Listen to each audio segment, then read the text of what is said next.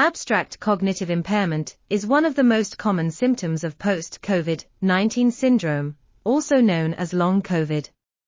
Neuroimaging techniques, such as arterial spin labeling, ASL, MRI can help us understand the pathophysiology behind this condition and its underlying mechanisms.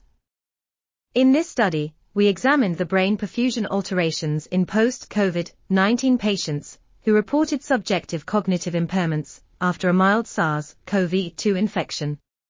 Our results suggest that these patients have a widespread hypoperfusion in their brains, particularly in the frontal, parietal, and temporal lobes. This suggests that there is a large network dysfunction in post-COVID-19 patients with cognitive complaints.